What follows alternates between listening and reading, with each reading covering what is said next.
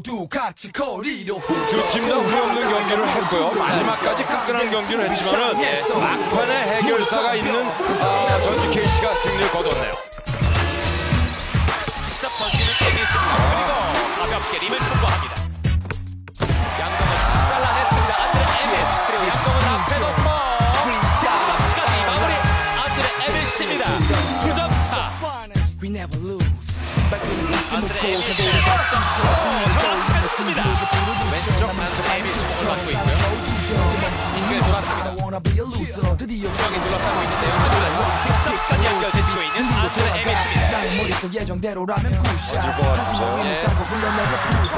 그들의 놀이터의 흐름으로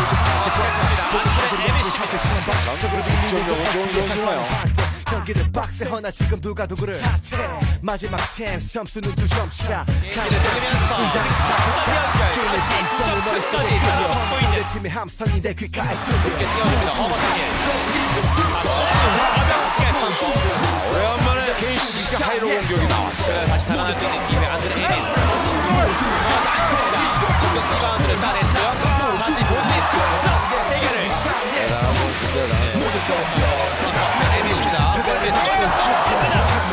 공 하나를 들고 안드레 에미스 빅터가 넘어져 있습니다. 함지훈 앞에 놓고 넘겨줬습니다. 김효범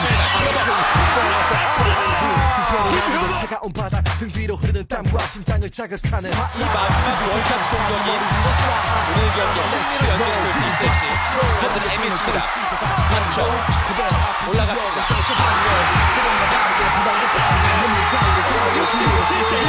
그리고 남아있는 시간은 1.2초입니다. 좁혀 아무리 봐도 상대 움직임은 저를 앞에 놓고 어렵게 올라간 출시 득점으로 연결해줬습니다. 못할 입장이고, 그죠?